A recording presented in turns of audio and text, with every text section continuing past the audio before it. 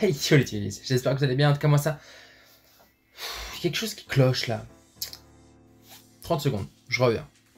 On est quand même mieux là, non? Aujourd'hui dans cette vidéo, je vais essayer de vous présenter un maximum de choses liées aux achats de Noël. Je me suis rendu compte en discutant autour de moi, et pas forcément que en parlant de Yu-Gi-Oh! Allez, 30 secondes. J'ai chaud sous ce truc là je me suis rendu compte que euh, eh bien, plein de personnes ne savaient pas quoi offrir lorsqu'on ne connaissait pas le domaine. Yu-Gi-Oh! c'est très particulier, il y a plein de produits qui sortent régulièrement, des produits qui vont pas forcément ensemble. Et euh, bah, je me suis dit que faire une vidéo pour guider les gens tout simplement vers différents budgets, différents produits et euh, surtout bah, différentes idées de cadeaux, bah, ça ne pouvait être que bénéfique et c'est pour ça que je fais cette vidéo aujourd'hui. Dans cette vidéo, je vais donc essayer de lister un petit peu les choses avant de commencer la vidéo. Je vais vous présenter les différents produits que je vous conseille d'acheter pour Noël en fonction de votre budget, des lots un petit peu euh, de produits, toujours en fonction du budget, avec des budgets à 50, 80, 100 et même 200 euros si vous voulez vraiment, vous voulez faire plaisir. Et euh, pour terminer, des petits bonus et des infos que je peux vous donner pour compléter un cadeau ou pour faire plaisir à quelqu'un, tout simplement le tout évidemment lié à Yu-Gi-Oh! Petite disclaimer avant de commencer la vidéo, euh, les prix que je vais vous donner, c'est souvent des prix arrondis parce que euh, en fonction de là où, où vous achetez les produits, que ce soit sur internet, parfois en lot, parfois dans les magasins, souvent en promo, euh, voilà, ça peut vraiment varier et euh, donc le fait d'arrondir les prix, c'est pas pour vous tromper sur la marchandise ou quoi que ce soit, c'est juste qu'en fonction d'où vous les achetez, ben, le prix vous pouvez peut-être l'avoir moins cher que ce que j'annonce ou plus cher que ce que je l'annonce, il y aura une petite différence de 2, 3, 5 euros grand maximum par produit. Et parfois c'est vraiment pas grand chose et surtout il y a certains produits où il n'y aura pas de différence. Donc voilà, je préférais juste le préciser, l'histoire que vous ne vous soyez pas euh, surpris en arrivant en magasin ou en commandant sur internet, il peut y avoir une petite différence de prix. On va commencer sans plus attendre sur les produits. Donc je les ai classés par ordre du moins cher vers le plus cher pour euh, bah, tout simplement essayer de vous expliquer un maximum de choses concernant ces produits. Parce que je vais pas simplement juste vous dire il y a ça qui coûte 20 euros, c'est cool. Je vais essayer de vous expliquer un petit peu pourquoi c'est cool et euh, bah, en fonction de à qui vous voulez faire un cadeau, ça pourra répondre à certaines de vos questions. Le premier produit, et c'est un premier emblématique, c'est la Tin Box Sarcophage Doré. Donc c'est un produit qui est sorti euh, au courant du mois d'août, si je me trompe pas trop. Et déjà on a un design qui est extrêmement cool puisqu'on a une box qui est super jolie et qui sort un petit peu de ce qu'on avait déjà eu avant. Et surtout à l'intérieur on a énormément de rééditions. Alors une réédition, c'est quoi? C'est une carte qui a été éditée qu'une ou deux fois avant et qui va être rééditée euh, à nouveau. Et du coup, le fait qu'elle soit rééditée, souvent ça baisse la valeur de la carte et du coup ça la rend bien plus accessible. Les cartes qui nous intéressent, c'est souvent ce qu'on va appeler les cartes méta, donc les cartes qui vont être jouées dans de grands formats, euh, enfin un grand nombre dans le format actuel de la, de la méta, donc du jeu compétitif Yu-Gi-Oh! Et euh, on a vraiment beaucoup de cartes, notamment les Dangers, notamment des cartes qui, qui ont été rééditées, qui sont très cool et euh, bah, ça ne peut être que positif. On a même des cartes promotionnelles comme la carte Nibiru euh, qui a été une carte qu'on est presque sûr d'avoir une chance sur trois de l'avoir dans ce pack là et une carte qui est extrêmement présente dans beaucoup de decks aujourd'hui. Donc honnêtement, pour les 20 euros que vaut cette boîte là, sachant qu'on la trouve encore en grand nombre dans le commerce, c'est un bon investissement. Il y a trois boosters de 16 cartes à l'intérieur. On est sûr d'avoir des cartes qui brillent ça fait toujours plaisir et pour le prix, c'est un beau cadeau. Ensuite, toujours en restant dans le budget de 20 euros, alors je vais pas mal vous parler de Master Duel et de Speed Duel aujourd'hui.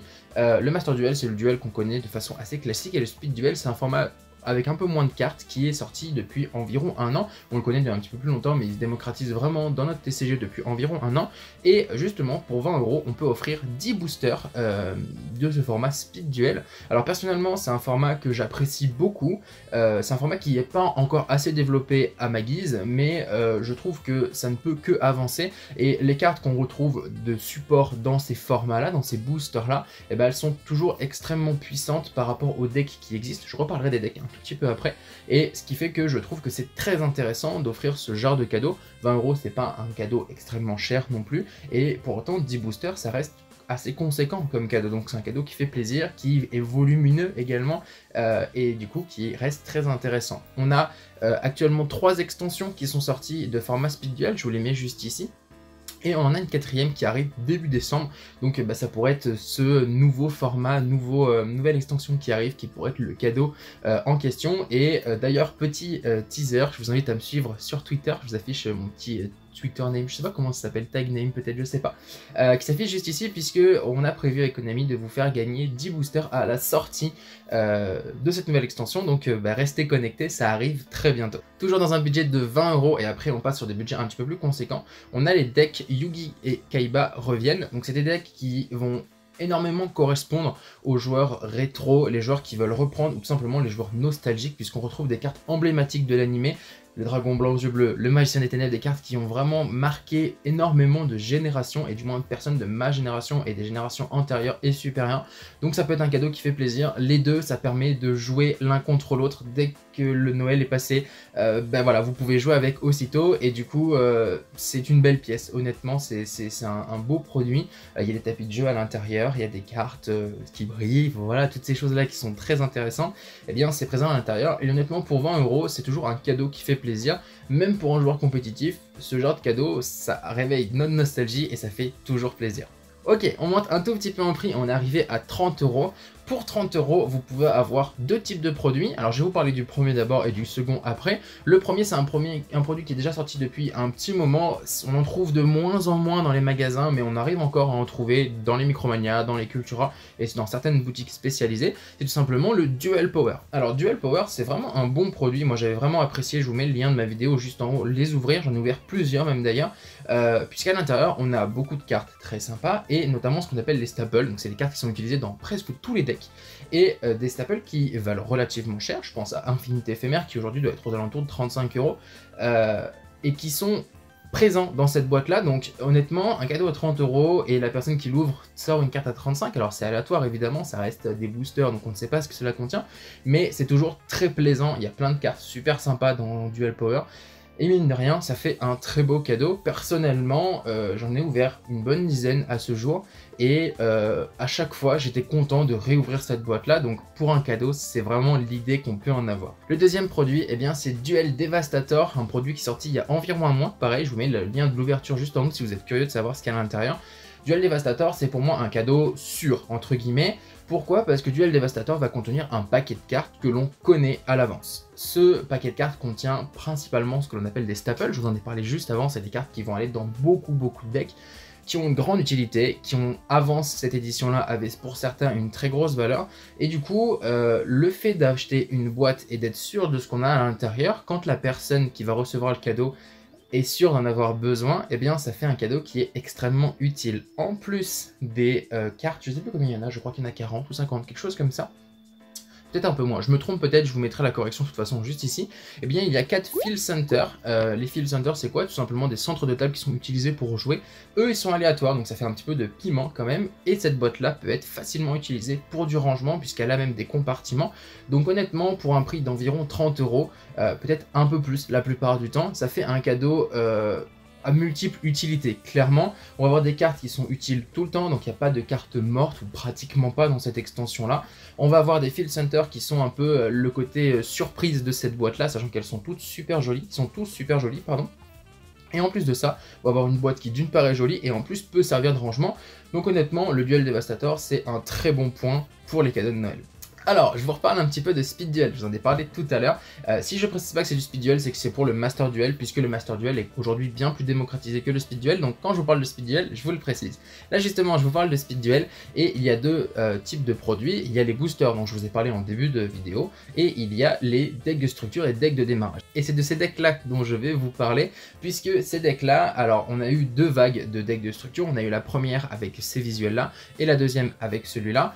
Euh, dans la première vague, on avait trois decks dans chaque paquet, et dans la deuxième vague on en avait que deux, mais ça n'empêche pas que ces decks là valent environ 10 euros chacun. Pour un budget de 30 euros, vous pouvez les acheter x 3 chacun, donc euh, soit 3 fois le paquet avec Yugi, soit 3 fois le paquet avec euh, Kaiba je crois, ou soit 3 fois le paquet avec Rex Raptor et Insectoraka, et euh, avec 3 fois le paquet, on peut construire en fait des decks qui sont complet du coup, puisqu'il faut savoir quand on achète le deck de base, on a le paquet de 20 cartes mais avec un exemplaire de chaque carte à chaque fois, et évidemment sur 20 cartes, toutes les cartes ne sont pas extrêmement efficaces. Le fait de l'acheter trois fois, on récupère les cartes efficaces en plusieurs exemplaires, en trois exemplaires du coup, et on peut se faire un deck, se construire un deck extrêmement efficace, complet, et en plus de ça, on a des cartes en plus, donc ce n'est que bonus. Ça coûte 30 euros, et ça permet de se mettre à ce format-là, Speed Duel, avec quelque chose de costaud, pour un budget assez conséquent. On va rester dans les decks de démarrage et les decks de structure, mais cette fois dans le Master Duel, on a pas mal de produits qui sont sortis il y a quelques temps, euh, et ça permet vraiment de faire des choses très intéressantes. Encore une fois, l'idée c'est de le prendre x3 pour récupérer les cartes qui sont x1 en triple exemplaire et se faire un deck complet. On va avoir dans les decks qui sont sortis déjà il y a plusieurs mois le deck Magicien qui est joué en compétitif et le deck Rocket que je joue personnellement. Euh, ces deux decks qui sont très intéressants. En x3, on va retrouver énormément de cartes très intéressantes, très cool et euh, qui sont jouables même hors du deck. Donc c'est toujours, c'est pas des cartes mortes tout simplement. Ça reste intéressant et pour moi le must-have entre guillemets ça va être le deck Hero tout simplement. Pourquoi? Parce que Hero euh, a été déban avec euh, l'arrivée de Malveillant et de Stratos à 3 et tout simplement la deuxième chose c'est qu'on a eu du support pour Hero et on retrouve du Hero un petit peu dans les formats compétitifs, sachant qu'on n'est pas obligé de faire du compétitif évidemment lorsqu'on joue à Yu-Gi-Oh! Mais le fait de récupérer un deck qui en triple exemplaire fait quelque chose de très complet et très agréable à jouer, peut être utilisé pour du format fun, pour du format compétitif, eh bien ça fait forcément lui un bon cadeau. On arrive vers la fin des produits, après je vous parlerai un petit peu des paquets auxquels j'ai pensé. On est sur un budget de 50 euros, et pour 50 euros vous pouvez avoir 10 boosters euh, du format TCG, donc avec différentes extensions, il y en a plein qui sont sortis. Pourquoi 10 boosters? Alors ça marche évidemment aussi avec 25 boosters, 25 euros et 5 boosters. C'est vrai que 10 boosters c'était vraiment pour imager le paquet à 50 euros. Pour moi il y a trois extensions qui ont vraiment marqué notre année euh, actuel de Yu-Gi-Oh! Ça va être tout simplement les boosters Shim. Hop, je vous mets le design juste ici. Les boosters Sast, donc euh, Savage Strike, je crois que c'est ça exactement. Et les boosters Dane, ça c'est vraiment une super extension. Je vous la mets juste ici également.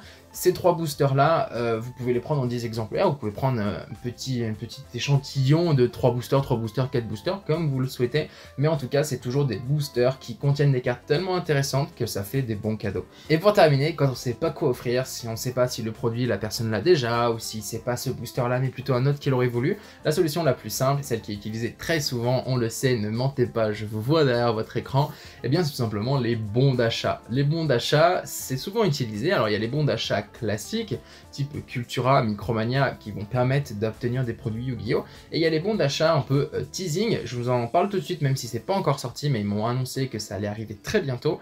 C'est les bons d'achat, le coin des barons. Pour ceux qui connaissent pas le coin des barons, je vous mets le lien de ma vidéo juste en haut, où je vais visiter leurs locaux. C'est tout simplement une entreprise qui vend des produits scellés, des cartes à l'unité, et tout un tas de choses liées de près ou de loin à Yu-Gi-Oh! J'en profite de parler du coin des barons pour vous rappeler que il y a un booster à gagner chaque semaine euh, et actuellement c'est un booster bataille de légende. Vous pouvez euh, participer, c'est gratuit, le lien dans la description.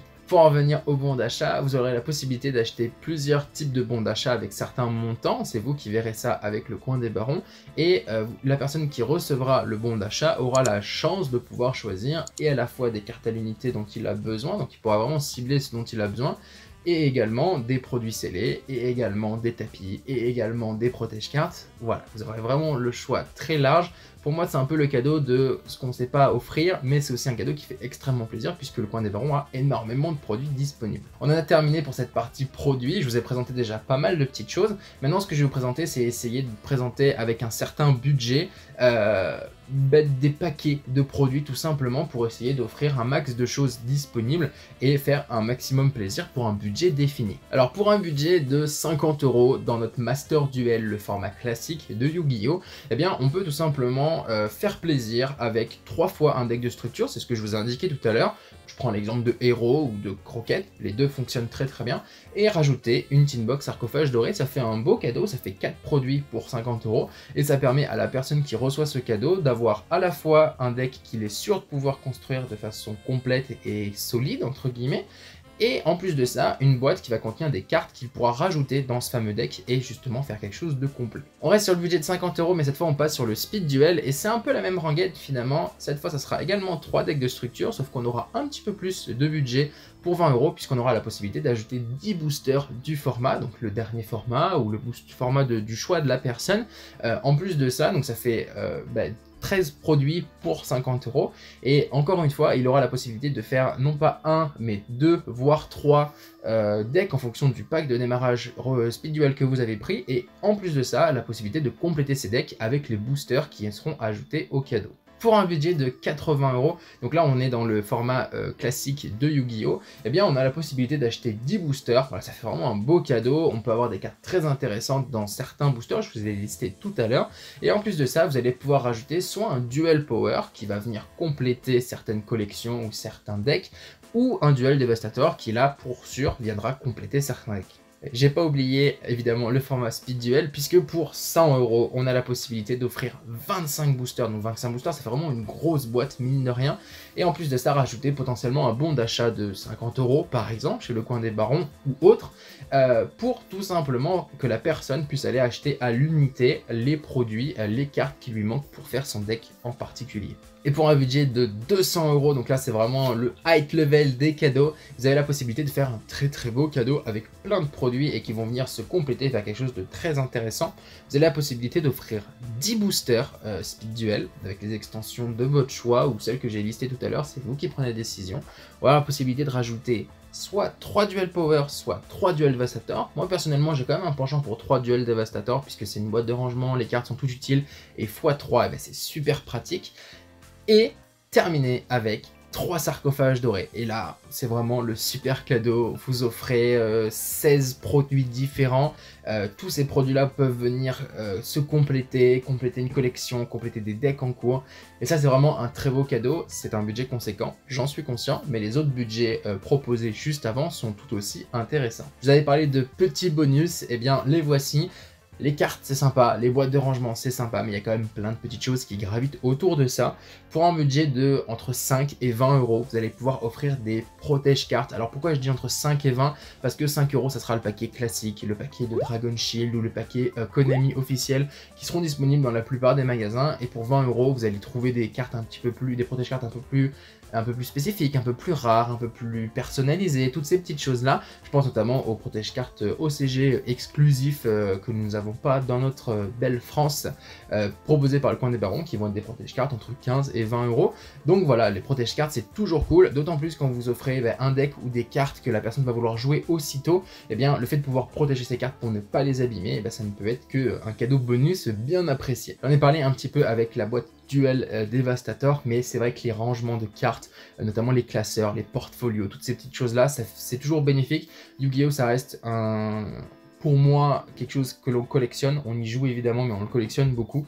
Et le fait de pouvoir bah, les ranger aussitôt qu'on a ouvert nos boosters, ranger un petit peu ce qui cote, ranger un petit peu ce qui nous intéresse un peu moins, faire des paquets avec des cartes qui vont ensemble pour peut-être plus tard, et bah ça peut être euh, tout simplement très intéressant. Et un portfolio, on va les retrouver entre 10 et 30 euros grosso modo en fonction de ce que vous prenez, sachant que vous pouvez les faire vous-même, acheter vos feuilles et faire un classeur personnalisé, ça fait encore plus plaisir. Et le dernier cadeau, alors ça c'est vraiment pour moi quelque chose qui est euh, omniprésent dans le jeu Yu-Gi-Oh! Tout le monde utilise ça et pourtant j'en vois encore qui n'en ont pas. Euh, c'est tout simplement des tapis de jeu. Tout le monde a besoin d'un tapis de jeu pour jouer parce que sinon ça peut abîmer les cartes, ça peut abîmer les protège-cartes et puis c'est quand même vachement plus cool de jouer avec un fond qui bah, nous correspond tout simplement. Des tapis de jeu, on trouve entre 15 et 5000 euros peut-être. Je pense pas qu'il y ait de tapis aussi cher, mais voilà, il y a quand même un budget qui est presque illimité. Euh, pour 15 euros, on va avoir des tapis assez classiques, mais ça reste toujours très sympa. Et dès qu'on commence à monter le prix, on va pouvoir choisir des tapis un petit peu plus personnalisés. Le coin des barons, alors je vous parle beaucoup d'eux, mais c'est parce qu'ils ont beaucoup de choses à proposer. On plein de tapis très sympas. Je vous en avais parlé un petit peu dans mes vidéos. Bah, lien, le lien toujours juste en haut. Vous pouvez aller checker. Il y a des moments où on voit certains tapis qui défilent. Il y en a vraiment plein de disponibles. Pour moi, un tapis, c'est un, un tapis qui doit correspondre à la personne qui va l'utiliser. Donc, c'est une question qu'il faudra sûrement poser avant d'effectuer votre achat. Et voilà, cette petite vidéo est maintenant terminée. J'ai essayé d'être le plus complet, de vous faire une liste de produits, une liste de budget, expliquer pourquoi tel ou tel produit, pourquoi un produit en trois exemplaires c'est toujours beaucoup mieux qu'un produit en un seul exemplaire. Toutes ces petites choses-là, il faut savoir que cette vidéo, pour moi, elle est faite pour les personnes qui ne connaissent pas forcément Yu-Gi-Oh! Pour, et qui ont des proches tout simplement qui aiment Yu-Gi-Oh! et à qui ils veulent faire plaisir pour Noël ou autre. Euh, voilà, l'idée ça va simplement être de vous guider et d'essayer de faire en sorte que vous offriez un cadeau qui plaise. Si cette vidéo vous a plu, ben, vous avez le droit de vous abonner et puis la partager avec euh, vos parents, vos copains ou copines, vos grands-parents, votre chien, enfin toutes les personnes qui sont susceptibles de vous faire plaisir pour Noël. Sur ce, prenez soin de vous, faites un duel et collection de cartes et surtout à bientôt les potes. Allez, ciao